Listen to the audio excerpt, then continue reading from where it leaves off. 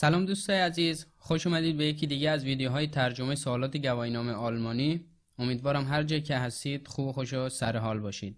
دوستان تو این ویدیو سوالات 798 تا 819 رو براتون ترجمه می‌کنم که یه مقداری از قسمت تکنیک هست و اون 4 5 تا سوال آخر مال یه قسمت دیگه است که قسمت آخر سوالات هستش مال صلاحیت و توانایی راننده ها و با این ویدیو سوالات بدون تصویر تموم میشن و بعد از این ویدیو من سوالاتی که امسال تغییر کردن و جدید شدن اومدن رو توی یکی یا دو تا ویدیو من براتون ترجمه می‌کنم و توی کانال می‌ذارم.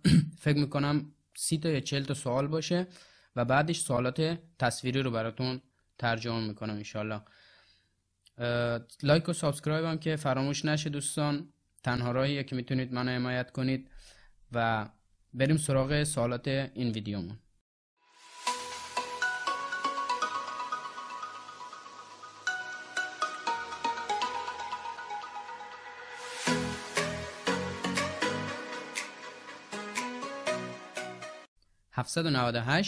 Sie müssen ein defektes Rad demontieren.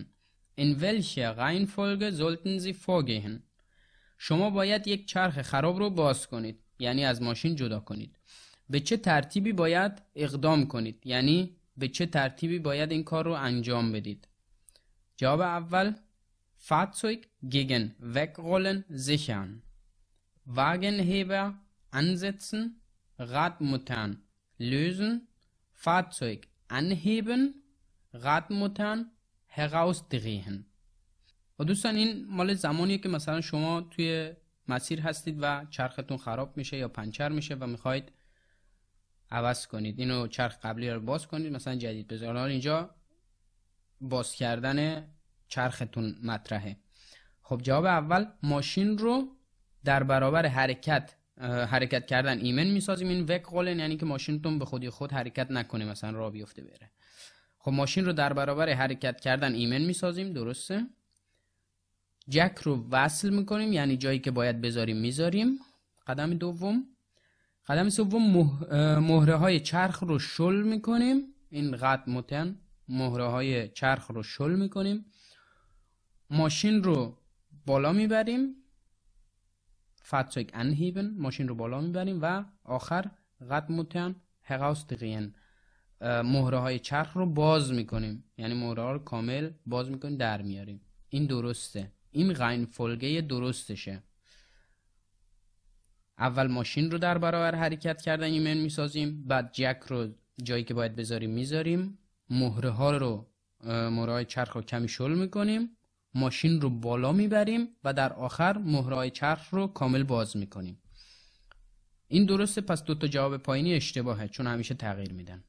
حالا جواب دوم می‌خونیم. فاتسوی گیگن وک rollen sichern Wagen heber ansetzen. Fahrzeug anheben Radmuttern lösen Radmuttern herausdrehen این جواب دوم شاید خیلی ها به اشتباهان اینو علامت بزنن به جای درست علامت بزن که این اشتباهه ماشین رو در برابر حرکت کردم ایمن می‌سازیم جک رو وصل می‌کنیم ماشین رو بالا می‌بریم مهره رو شل می‌کنیم مهره رو در میاریم این اشتباهه غین فولگ اصلی اینه آخر Wagenheber ansetzen, Fahrzeug gegen Wegrollen sichern, Radmuttern lösen, Fahrzeug anheben, Radmuttern herausdrehen. جک رو وصل می‌کنیم? ماشین رو در برابر حرکت کردن ایمن می‌سازیم. مهره ها رو شل می‌کنیم. ماشین رو بالا می‌بریم. مهره ها رو در میاریم. اینم اشتباهه.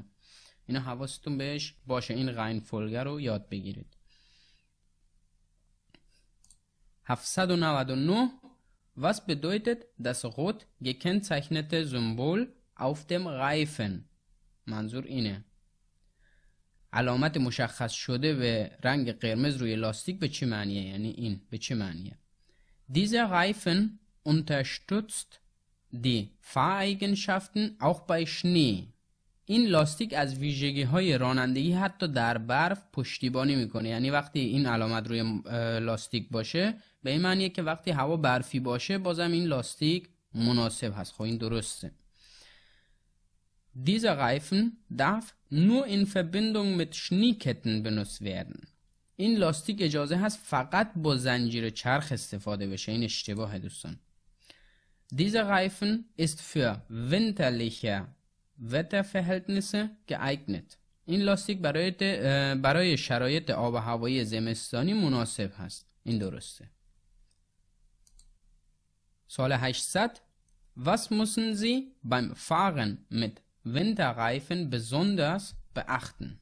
هنگام رانندگی با لاستیک های زمستانی به چه نکاتی باید توجه کنید؟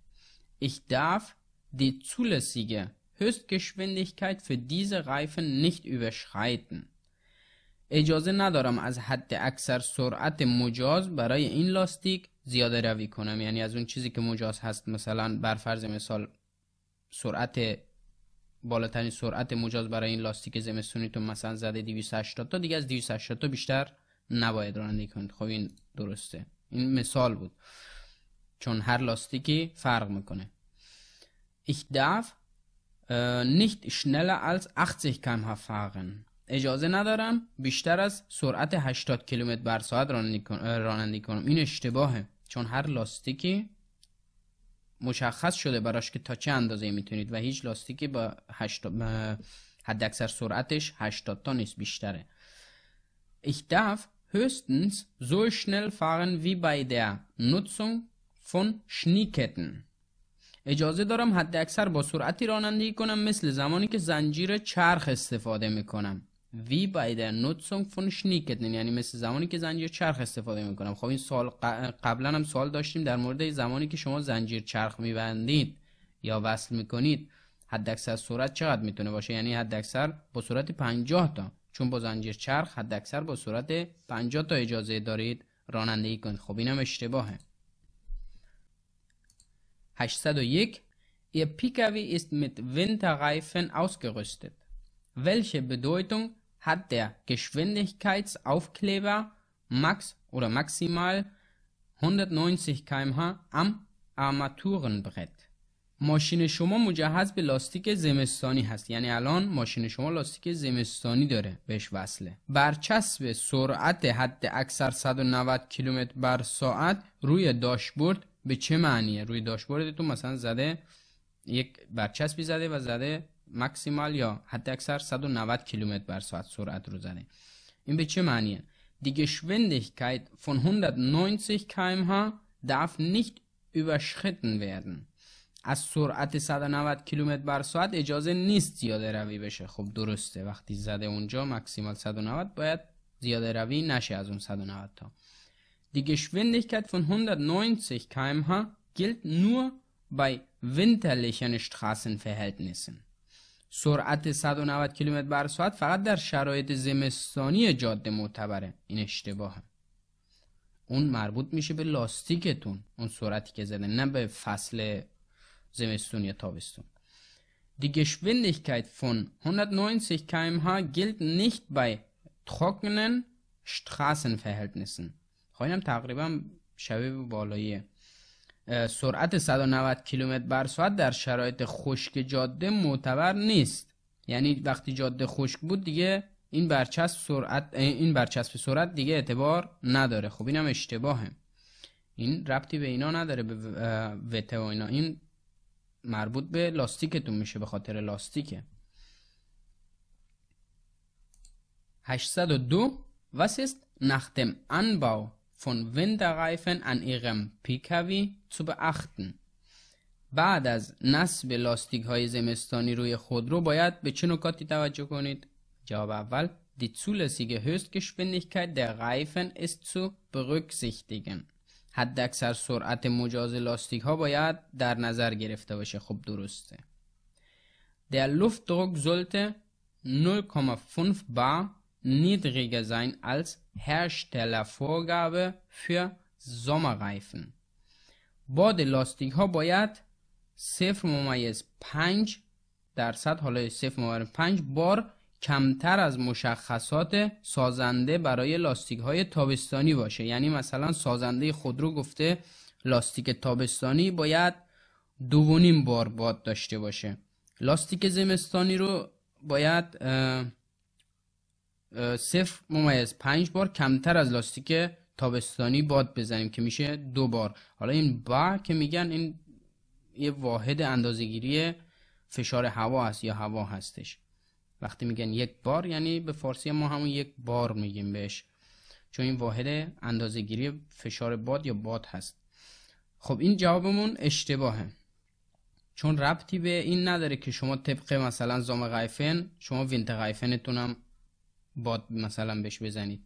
اینا همش توی ماشین نوشته است. هم تو دفترچه ماشین هم توی درب ماشینه. توی دربش که نه ولی توی همون میله وسط هستش. من حالا اینو توی ویدیو بهتون سعی می‌کنم نشون بدم که خودتونم بفهمید چقدر لاستیکاتون رو باد بزنید و تنظیم کنید بادشون. جواب آخرمون der Reifen Fülldruck ist entsprechend den Herstellervorgaben zu überprüfen. باد لاستیک باید با, با توجه به مشخصات سازنده کنترل بشه. این درست یعنی اون چیزی که بهتون گفته باید همیشه کنترل کنی که بادش هم به همون اندازه باشه که این مشخصات سازنده به شما مثلا گفته. 803 welche Folgen kann es haben wenn die Radbefestigungen nach einem Radwechsel nicht nachgezogen werden اگر مهره های چرخ پس از تعویز چرخ دوباره محکم نشن چه عواقبی می‌تونه داشته باشه؟ حالا این قد بفستیگونگن منظور همون مهره های چرخ هست همون پیچایی که چرخ رو سفت می‌کنه. گفته که اگر این مهره ها رو پس از تعویز چرخ دوباره محکم نکنید این نخت سیهن به این منظوره که این یه بار سفت شده بعد از یه مدت شما نخت سیهن می‌کنید. یعنی دوباره میاد محکم می‌کنید. برای چی؟ شما چرخ رو که عوض می‌کنید دوستان قد وکسل انجام می‌دید تعویز چرخ. حالا زمستونی رو بر میدارید مثلا تابستونی می‌ذارید به ماشینتون نصب می‌کنید. بعد از 50 تا 100 کیلومتر رانندگی اینا خودشون هم یه برچسب یا می‌زنن داخل ماشینتون که فراموش نکنید یا اینکه بهتون میگن که مثلا اینقدر رانندگی کردی بعدش بیاید دوباره ما اینو سفت کنیم. اگه ماشینتون توی ورکشتادی مثلا تعویض چرخش اونجا انجام بدید. اگر خودتون انجام بدید که حواستون باید باشه بعد از یه مدتی باید این پیچا رو یا اون مهره ها رو باید نختسین کنید. یعنی دوباره سفتش کنید. چون بعد از یه مدتی 50 تا 100 کیلومتر با ماشین رانندگی کنید این پیچا کمی ممکنه. همیشه اتفاق نمیفته ولی ممکنه کمی شل بشن. خب جواب می‌خونیم. das Rad kann sich vom Fahrzeug lösen خب وقتی گفته اگر این کار نکنید چه اتفاق میفته؟ جواب اول گفته چرخ می‌تونه از خودرو جدا بشه. درسته. ممکنه چون nachziehen نکردید مهره ها رو ممکنه این به مرور زمان هی شل بشه و یه موقعی کلا چرخه از ماشینتون جدا بشه. پس خیلی مهمه این. جواب دوم der Reifen kann sich von der Felge اینا حواستون بهش باشه. اشتباه. خیلی واضحه. لاستیک ها می‌تونن از رینگ جدا بشن. خب این اشتباه ربطی نداره. کلا چرخه جدا میشه. نه اینکه لاستیک از رینگ جدا بشه. Das Rad kann beschädigt werden. چرخ می‌تونه آسیب ببینه. خب اینم درسته. وقتی پیچا شل باشه چرخه آسیب می‌بینه. 804 Was bewirkt ein Anti-Blockiersystem? ABS سیستم ترمز ضد قفل یا همون ABS چیکار می‌تونه؟ چیکار می‌کنه یا چه تأثیری داره؟ جواب اول auch bei glatter Fahrbahn wird das Fahrzeug bestmöglich gebremst. حتی زمانی که جاده لغزنده هست خودرو تا حد ممکن خوب ترمز می‌گیره. درسته. Beim Bremsen bleibt die Lenkfähigkeit weit گهند erhalten در زمان ترمز گرفتن توانایی فرمان دادن تا حد زیادی حفظ میشه. یعنی وقتی ترمز می‌گیرید بازم می‌تونید فرمان رو به خوبی به چپ و راست بچرخونید. اینم درسته. اینم یکی از مزایای یا تاثیرات ABS هست ترمزهای ABS اکوا wird verhindert از پدیده آب سواری جلوگیری میشه. این اکوا پلانینگ رو توی اوایل توی سوالات ترجمه سوالات داشتیم بهتون توضیح دادم. فکر می‌کنم عکسم نشون دادم بهتون پدیده آب سواری خب این ربطی به ترمز نداره. این پدیده آب سواری نرمال اتفاق میفته و زمانی بدتر میشه که شما مثلا با سرعت بیشتر رانندگی کنید. این وضعیتش بدتر میشه. ولی وضعیتش زمانی خوب میشه که شما با سرعت کمتری رانندگی کنید. ولی همیشه اتفاق میفته Aquaplaning. پدیده آب سواری هم توی بازم اگه فراموش کردید می‌تونید توی گوگل search کنید ببینید چیه. 805 welche Vorteile bietet ein Antiblockiersystem ABS مزایای ترمز ABS چیه؟ beim Bremsen wird das Blockieren der Räder verhindert موقع ترمز گرفتن از قفل شدن چرخ ها جلوگیری میشه. این درسته؟ این چیزیه که خیلی ها مثلا در مورد ABS می‌دونن. اینکه مثلا چرخ ها قفل نمیشن وقتی ترمز می‌گیرید. Selbst bei starkem Bremsen bleibt die Lenkfähigkeit erhalten. حتی با گرفتن ترمز شدید قدرت فرماندهی حفظ میشه. یعنی هنوزم می‌تونید کمی فرمان بدید. خب اینم درسته. توی سال قبلی هم داشتیم. Kurven können wesentlich schneller durchfahren werden. از پیچ ها با سرعت بیشتری میشه عبور کرد. یعنی چون ABS دارید می‌تونید با سرعت بیشتری سر پیچ مثلا بپیچید. خب این اشتباه ربطی نداره. این چه ربطی به ABS داره. 806 welche Vorteile bietet ein Anti-Blockiersystem ABS خب اینم مثل سال قبلیه. مزایای ترمز ABS چیه؟ Starkes Bremsen und gleichzeitiges Ausweich, äh, Ausweichen ist möglich. ترمز شدید و همزمان جاخالی دادن ممکن هست. این درسته؟ چون چرخ قفل نمی‌کنه و ماشین تعادلش بهتر حفظ میشه. برای همین شما می‌تونید کمی ausweichen کنید یا جا خالی مثلا بدید. جواب دوم beim Bremsen in Kurven wird die Kippgefahr vermindert. موقع ترمز گرفتن سر پیچ ها خطر واژگونی یا همون چپ کردن کاهش پیدا می‌کنه. دقت کنید دوستان موقع ترمز گرفتن سر پیچ ها خطر واژگونی یا همون چپ کردن ماشین کاهش پیدا می‌کنه. این اشتباهه. این اشتباه نکنید دوستان این خطر چپ کردن ماشین همیشه هست سر پیچ وقتی سرعتتون زیاد باشه. جواب آخرمون das Durchdrehen der Räder beim Anfahren wird verhindert موقع حرکت کردن از درجا چرخیدن چرخها جلوگیری میشه. این دویدغین رو قبلا هم توضیح بهتون دادم. موقعی که چرختون مثلا می‌خواید حرکت کنید یه دفعه گاز زیاد می چرختون درجا لاستیکه میچرخه و بعد ماشین شروع به حرکت کردن می‌کنه. به اون میگن دویدغین این اشتباهه. گفته موقع حرکت کردن این در چرخه دیگه درجا نمیچرخه نمیچرخه. این دویدغین اتفاق نمیفته این ربطی به ترمز نداره. دوستان این اشتباهه.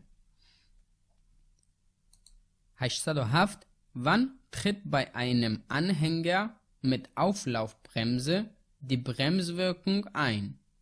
چه زمانی اثر ترمزگیری یک تریلر بدون ترمز ایجاد میشه یا اتفاق میفته؟ جواب اول رو می‌خونیم بعد من بهتون یه تصویری نشون بدم و کمی توضیح بدم. Beim Auflaufen des Anhängers auf das Zugfahrzeug. هنگامی که تریلر از عقب به خودرو فشار میاره. این درسته؟ و دوستان توی گوگل می‌زنیم برمزه ببینید؟ Auflaufbremse من دقیق تر بهتون کمی نشون بدم اینو. ماشینایی که Anhänger هایی که Auflaufbremse دارن حالا من بدون ترمز ترجمه کردم چون خودشون ترمز ندارن. و این عمل ترمز گرفتن Anhänger ها به چه صورت اتفاق میفته مثلا چه زمانی این Anhänger توقف می‌کنه وقتی ترمز نداره؟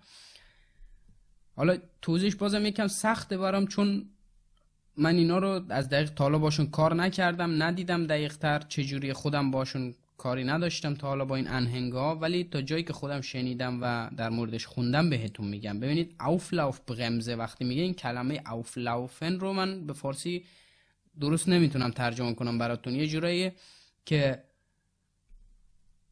مثلا تو این تصویر نگاه کنید وقتی یه انهنگی اوفلاف برمزه داره یعنی خودش برمزه نداره و اوفلاف برمزه داره.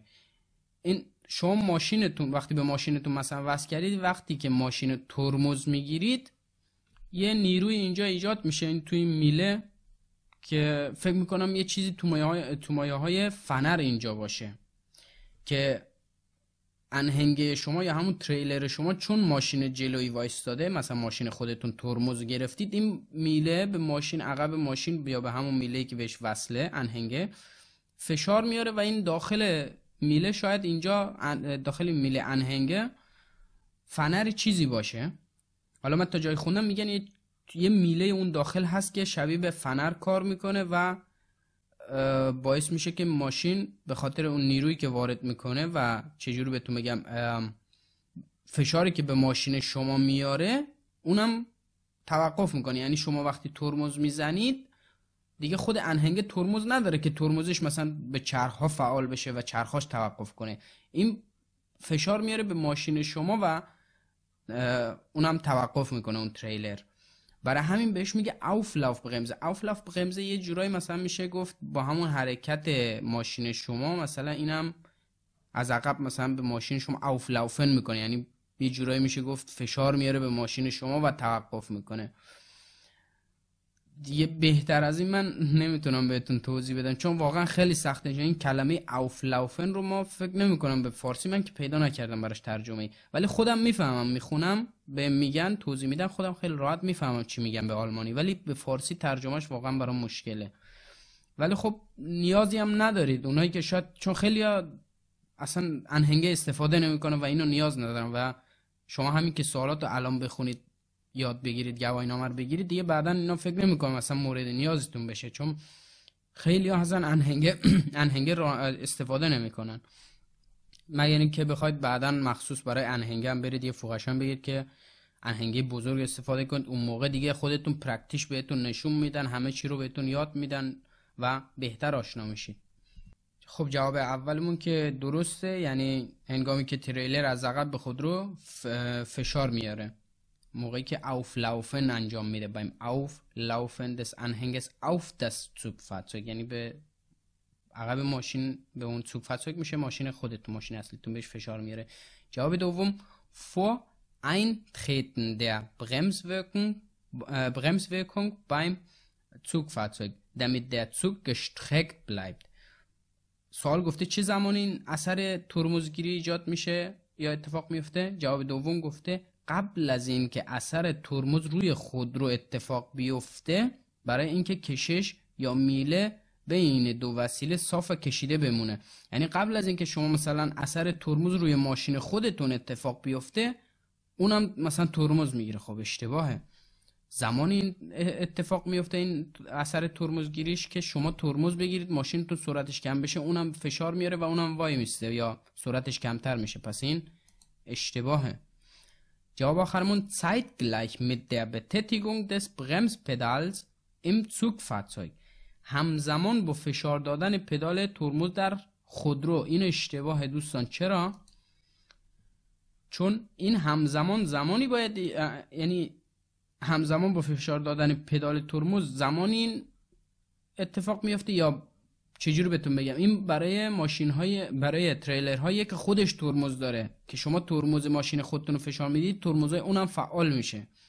برای این اشتباه این سایت گلایک مده به تتیگون. همزمان وقتی ترمز پاتون رو ترمز می‌ذارید مثلا اثر ترمز گرفتن توی انهنگه اتفاق میفته. این اینطور نیست اشتباهه. چون وقتی این اثر اتفاق میفته که ماشین شما ماشین اصلیتون که جلو هست سرعتش کمتر بشه اونم بعد فشار میاره به عقب و سرعتش کمتر میشه. 808 Was kann aus einem zu späten Ausschalten der Geschwindigkeitsregelanlage Tempomat folgen. اگر سیستم کروز کنترل خیلی دیر خاموش بشه چه اتفاقی می‌تونه بیفته؟ این سیستم کروز کنترل رو قبلا هم داشتیم. فکر می‌کنم توی ویدیویی که من برای ماشینم درست کردم هم بهتون گفتم. ولی خب بازم بعدا بهش اشاره می‌کنم توی ویدیو عملی و بهتون دقیقتر نشون میدم. توی رانندگی بهتون نشون میدم که کاراییش چی هست چی جوری هست. بهتر آشنا میشید. ولی خب توی این سوالات هم الان باش آشنا میشید. سوالم گفته اگر سیستم کروز کنترل خیلی دیر خاموش بشه چه اتفاقی میفته جواب اول. Ein zu dichtes Auffahren. بیش از حد به راننده جلویی نزدیک میشید این درسته. وقتی دیر خاموش بشه یا خاموش کنید به راننده جلویی خیلی نزدیک میشید. Eine zu hohe Kurvengeschwindigkeit سرعت بسیار زیاد سر پیچ هم درسته. Eine Überschreitung der zulässigen Höchstgeschwindigkeit.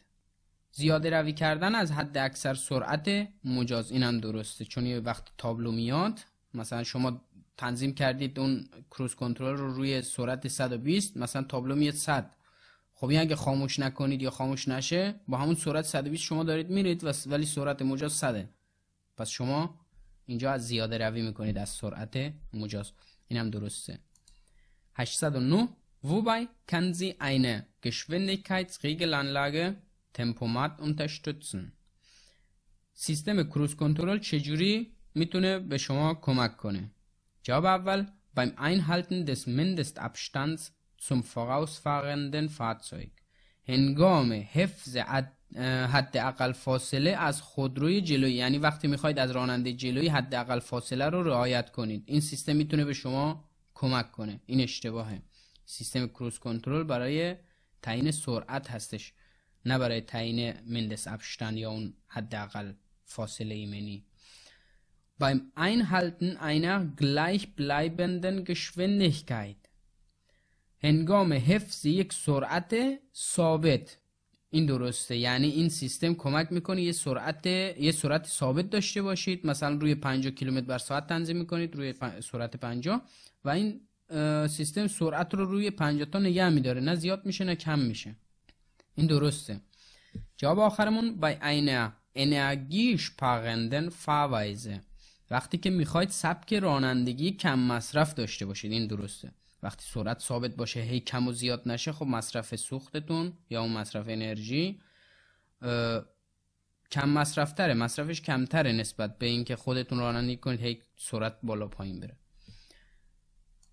810 Was sollten Sie bei der Benutzung einer adaptiven Geschwindigkeitsregelanlage beachten? هنگام استفاده از سیستم کروز کنترل تطبیقی باید به چه نکاتی توجه کنید؟ خب در مورد این سیستم cruise control تطبیقی یا همون adaptiv Tempomat Geschwindigkeitsanlage Geschwindigkeitsregelanlage خودتون در موردش می‌تونید توی گوگل search کنید توی اینترنت بخونید و باش بیشتر آشنا بشید. جواب اول durch die Benutzung von Gas oder Bremspedal kann das System jederzeit übersteuert werden. با استفاده از پدال گاز یا ترمز سیستم کروز کنترل می‌تونه هر زمانی لغو بشه یا کنسل بشه. این درسته. حالا من اینو توی ویدیو عملی سعی می‌کنم اگه فراموش نکردم بهتون نشون بدم چون ماشین خودم این سیستم کروز کنترل رو یا همون تمپومت رو داره. جواب دوم auch bei längerer Nutzung des Systems muss ich stets aufmerksam bleiben. حتی هنگام استفاده طولانی مدت از این سیستم باید حواسم همیشه جمع باشه. این هم درسته.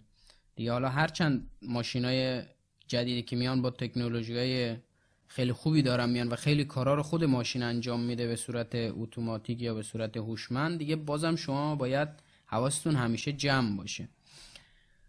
Durch starken Regen oder Schneefall kann das System beeinträchtigt werden.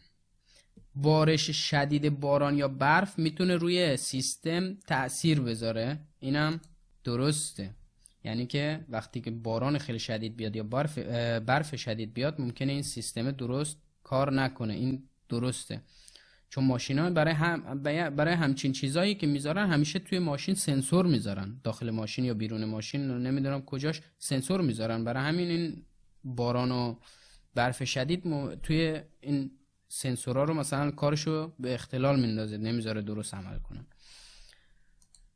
811 welche Funktion übernimmt eine adaptive Geschwindigkeitsregelanlage bei Kraftfahrzeugen.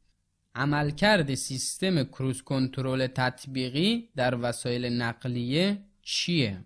یعنی این سیستم cruise control چی کار می‌کنه؟ کارش چیه؟ جواب اول das System bremst selbstständig wenn das vorausfahrende Fahrzeug langsamer fährt. وقتی راننده جلویی آهسته تر رانندگی کنه سیستم خودش ترمز می‌گیره. یعنی سیستم خودش سرعت رو کم می‌کنه. این درسته.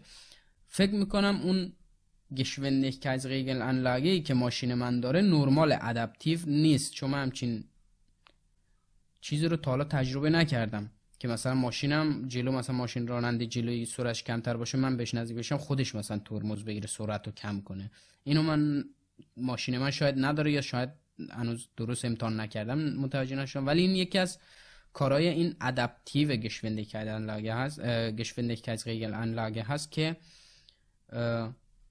راننده جلوی وقتی آهسته رانندگی کنه سیستم خودش ترمز می‌گیره ماشینتون. جواب دوم das System stellt den Abstand automatisch auf den voraus äh, auf den vorgeschriebenen Sicherheitsabstand ein. سیستم به صورت به طور خودکار فاصله رو طبق فاصله ایمنی تعیین شده تنظیم می‌کنه. یعنی مثلا اگه فاصله ایمنی باید طبق قانون 20 متر باشه با یه سرعتی که مثلا شما دارید میرید این سیستم خودش به صورت اتومات فاصله رو روی 20 تنظیم می‌کنه روی 20 متر. خب این اشتباهه. این فقط برای سرعت هستش نه برای فاصله تنظیم کردن. Das System beschleunigt selbstständig bis zu einer vorher eingestellten Geschwindigkeit. سیستم خودش شتاب می‌گیره تا سرعت به اون سرعتی که از قبل تنظیم شده برسه. اینم درسته. ماشین مثلا با ماشین خودم هم اینو من امتحان کردم. وقتی یه سرعتی رو تنظیم می‌کنم مثلا سر بالایی میرم خب ماشین اولی سرعت یکم کم میشه ولی بعد خودش شتاب می‌گیره و گاز میده خودش به همون سرعت که من تنظیم کردم میرسونه ماشینو. اینم درسته. 812 Welchen Vorteil bringt die Nutzung einer Geschwindigkeitsregelanlage Tempomat für den Fahrer eines Kraftfahrzeugs مزایای یا همون فواید استفاده از سیستم کروز کنترل برای راننده وسیله نقلیه چیه؟ Der Tempomat passt die Geschwindigkeit an die Verkehrsdichte an. سیستم کروز کنترل سرعت رو با تراکم ترافیک تطبیق میده. این اشتباهه. این فقط تمپومات برای اینه که سرعتی رو که شما می‌ذارید مثلا تعیین می‌کنید که این سرعت رو باید ثابت نگه داره همون ثابت نگه میداره. دیگه با تراکم مثلا ترافیک این که چقدر شلوغ باشه یا چقدر خلوت باشه با این تنظیم نمی‌کنه. این ربطی نداره. Der Tempomat hält eine eingestellte Fahrgeschwindigkeit auf ebener Fahrbahn konstant. سیستم کروز کنترل سرعت تنظیم شده رو در یک جاده هموار ثابت نگه میداره. این درسته. حالا این, این گفته توی جاده هموار ولی توی سربالایی هم ثابت نگه میداره. من خودم امتحان کردم با ماشینم. سربالایی وقتی اولش سرعت کم میشه ماشین خودش گاز میده و دوباره به همون سرعت که شما تنظیم کردید میرسونه. ولی خب این گفته توی جاده هموار فرقی نمی‌کنه حالا این درسته Der Tempomat entlastet den Fahrer bei der Fahrzeugbedienung. سیستم کروز کنترل به راننده در عمل کرده وسیله نقلیه کمک می‌کنه اینم درسته یک کمکی برای راننده هست 813 Sie möchten mit einem Fahrzeug mit auflaufgebremstem Anhänger fahren. Was müssen Sie vor Fahrtantritt überprüfen? شما می‌خواید یک خودروی همراه با تریلر بدون ترمز رانندگی کنید. قبل از شروع سفر یا قبل از شروع رانندگی چه چیزهایی رو باید بررسی کنید Ich prüfe die Funktion der Beleuchtungsanlage عملکرد سیستم روشنایی رو بررسی می‌کنم یعنی بررسی می‌کنم چک می‌کنم که مثلا چراغ ها همه همشون عمل می‌کنن یا نه؟ این درسته خب.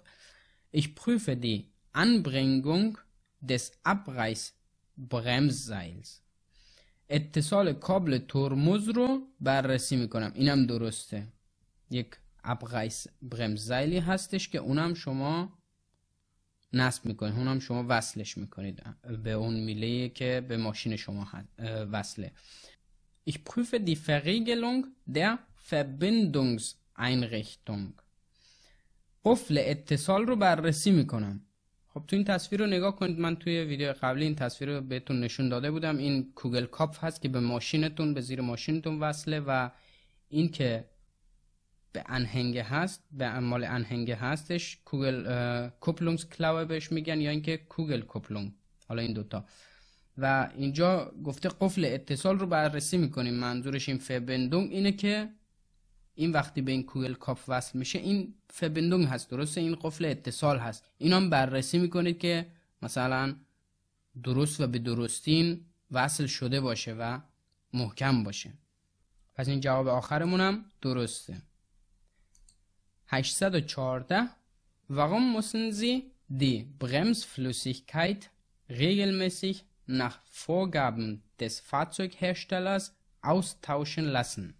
چرا باید روغن ترمز رو به طور منظم با توجه به اطلاعات سازنده یا مقرر شده از طرف سازنده خود رو عوض کنید؟ جواب اول damit die Bauteile der Bremsanlage nicht beschädigt werden. برای اینکه اجزای سیستم ترمز آسیب نبینن. خب درسته؟ جواب دوم damit die Bremsanlage auch bei hoher Belastung funktionstüchtig bleibt.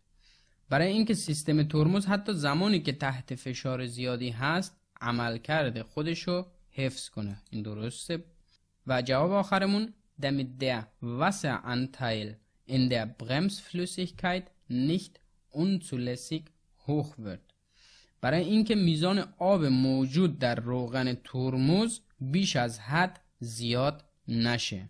دوستان توی روغن ترمز یا همون داخل مخزن روغن ترمز به مرور زمان آب جمع میشه و این آب خاصیت روغن ترمز رو تغییر میده. برای همین باید مرتب کنترل بشه که روغن ترمز در صورت لزوم عوض بشه که یه موقعی مقدار اون آب آیا اون آب جمع شده مثلا از مقدار روغن بیشتر نشه. خب اینم درسته. 815 خب دوستان این مال قسمت آخرمون هست. Eignung und Befähigung von Kraftfahrern که میشه Eignung میشه صلاحیت und Befähigung توانایی راننده ها صلاحیت و توانایی راننده ها 815 Wie lange dauert normalerweise die Probezeit? Probezeit فکر می‌کنم همتون شنیدید مال گواهینامه گفته که دوره آزمایشی معمولا چقدر طول می‌کشه؟ شاید خیلیاتون هم بدونید. 2 Jahre, ein Jahr, drei Jahre. دو سال، یک سال یا سه سال. دو سال درسته، یک و سه سال اشتباهه. دوره پروبزeit یا همون آزمایشی شما که گواهینامه می‌گیرید دو ساله. 816 Sie befinden sich in der Probezeit und sind bisher nicht auffällig geworden. Welche Folgen können eintreten, wenn Sie an dem Verkehrszeichen Halt, Vorfahrt gewähren, nicht anhalten und dadurch andere Verkehrsteilnehmer gefährden. شما در دوره آزمایشی هستید و تا حالا کار اشتباهی نکردید یا مثلا کاری نکردید که تابلو بشید اگر تابلوی ترافیکی ایست حق تقدم بدهید رو نادیده بگیرید توقف نکنید و به رانندگیتون ادامه بدید و با این کار جان دیگر کاربران ترافیکی رو به خطر بندازید چه عواقبی می‌تونه اتفاق بیفته؟ خب دوستان این تابلوی هالت فوفت گویغن رو توی ویدیو تابلوها هستش. من توضیح دادم فقط این که الان یادم نیست تابلوی شماره چند بود ولی این تابلوی هالت فوفت گویغن شیش ای هست یعنی گرد گرد نیست شیش زل داره. و قرمز هست و داخلش شتاب نوشته. اون تابلوی هالت فوفت گویغن هست. خب. دقت کنید دوستان چون اینو این تابلو انقدر مهمه که خیلی ها به خاطر این تابلو امتحان عملی رو رد میشن. پس دقت کنید که ببینیم جوابا چیه و من اگه کامل نبود یه توضیح کوچیکم بهتون بدم. جواب اول Eintrag in das Vereignungsregister ثبت در فهرست تخلفات یعنی توی سیستم براتون یک نمره منفی ثبت میشه. این درسته. وقتی این تابلو رو ندیده بگیرید و ازش عبور کنید یک نمره منفی براتون ثبت میشه. جواب دوم Anordnung zum erneuten Ablegen einer theoretischen Prüfung دستور امتحان دادن تئوری رانندگی مجدد. یعنی شما امتحان تئوری رو باید دوباره انجام بدید این اشتباهه. ربطی نداره. Anordnung zur Teilnahme an einem Aufbauseminar für Fahranfänger. دستور شرکت کردن در یک سمینار برای رانندگان تازه کار. این درسته. یک سمیناری رو هم شما باید برید. این aufbau زمینار خب شما توی دوره دو سال پروبتسایدتون اگر مثلا خیلی تابلوها هستن که خیلی مهم نیستن مثلا تابلوهای پارف بوتن. خب یه تابلوهایی هم هستن که خیلی مهمن. مثل این هالت فوفت گویقن یا همون تابلوی شتاب. یا تابلوی ورود ممنوع. شما وقتی ورود ممنوع رو داخل برید پلیس ببینه. من تا حالا برام اتفاق نیفتاده و نپرسیدن ولی احتمال میدم به احتمال زیاد اینم بهتون نمره منفی میده. چون یک خطری به وجود میاد اونجا. ولی شما اگر جایی تابلوی پارک ممنوع باشه پارک کنید خب خطری برای کسی نداره. فقط یکی یه جورایی میشه گفت بی‌نظمی کرده ولی این هالت فوفت گویغن این تابلو حکم چراغ قرمز رو داره. شما باید وقتی این تابلو رو می‌بینید بهش می‌رسید حداقل سه ثانیه باید اونجا توقف کامل انجام بدید. اینو توی ویدیو تابلوها من گفتم بارها تکرار کردم باید کاملا توقف کنید. انگار چرا قرمزه. بعد از سه ثانیه دیگه اگر راننده از چپ و راست نیومد دیدید مناسب هست وضعیت می‌تونید ادامه بدید و رانندگی کنید. ولی وقتی شما اینجا گفته که شما اینو نادیده گرفتید و انحلته نکردید و و به رانندگیتون ادامه دادید و اونجا تازه برای بقیه هم خطر ایجاد کردید. خب مسلمه که این یعنی که شما چرا قرمز رو رد کردید و برای بقیه خطر ایجاد کردید. برای همین شما نمره منفی می‌گیرید و باید aufbau زمینار برید. 817 was soll mit der Teilnahme an einem Aufbauseminar innerhalb der Probezeit erreicht werden خب اینم از اینکه شما توی زمینار باید چیکار کنید یا مثلا چی, چی میشه. ترجمهش به این صورت با شرکت کردن در یک سمینار در دوره آزمایشی چه چیزی باید به دست بیاد؟ یعنی هدف از این سمینار یا سمینار چیه؟ جواب اول ein Abbau der Punkte im Vereignungsregister کاهش دادن یا مثلا از بین بردن یا پاک کردن نمره منفی از فهرست تخلفات رانندگی. این اشتباه این اشتباه رو نکنید. این برای پاک کردن نمره منفیتون نیست این زمینار eine rücksichtsvollere und risikobewusstere Einstellung zum Straßenverkehr. یک طرز تفکر با ملاحظه تر و آگاهانه تر نسبت به ترافیک جاده ای یعنی اینکه شما یاد بگیرید که توی ترافیک جاده بیشتر احتیاط کنید و به همه چی آگاه باشید. در مورد این چیزا شما اونجا صحبت میشه و خلاصه این هدف اینه. این درسته. جواب آخر eine Verbesserung der Gefahrenerkennung بهبود تشخیص خطرات. یعنی یاد بگیرید که خطرها رو زودتر و بهتر و سریعتر تشخیص بدید و قبل از رخ دادن مثلا یک خطری به درستی عکس عمل نشون بدید. این درسته.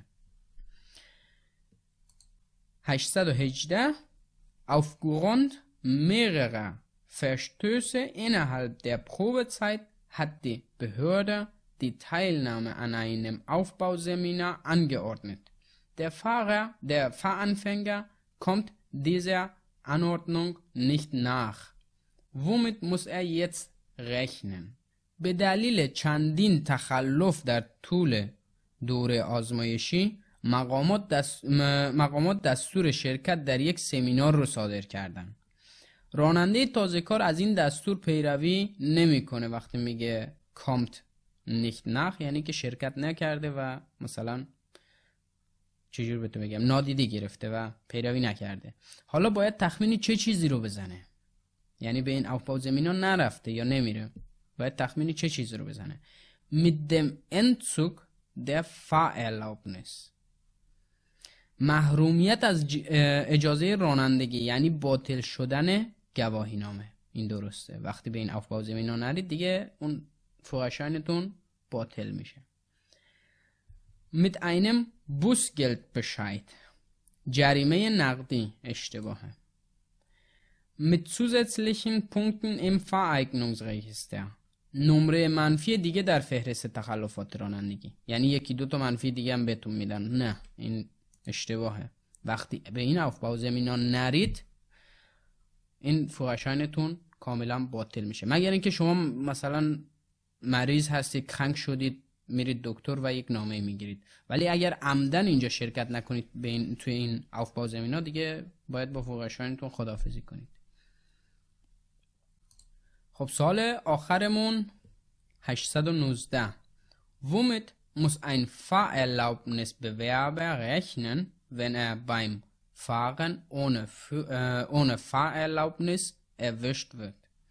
وقتی که متقاضی گواهی نامه بدون داشتن اجازه رانندگی گیر بیفته باید تخمین چه چیزی رو بزنه؟ یعنی زمانی که برای گواهی نامه ثبت نام کردید و هنوز گواهی نامه ندارید و با وجود و با این وجود مثلا رانندگی می‌کنید پلیس شما رو نگه میداره چه اتفاقی براتون میفته شما توی دوره فوقشان کردن هستید خب؟ بعد میرید رانندگی می‌کنید با یک ماشین شخصی مثلا با ماشین داداشی دوستی کسی رانندگی می‌کنه و پلیس شما رو می‌بینه.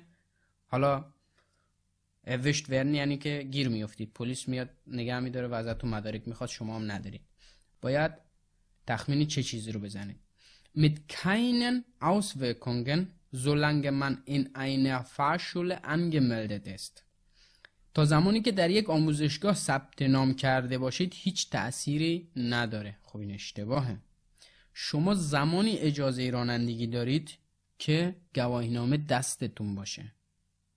اینکه گواهینامهتون مثلا خلافی کردید و ازتون گرفتن یا مثلا هنوز گواهینامه نگرفتید ولی انگملدت هستید این یعنی که ندارید گواهینامه.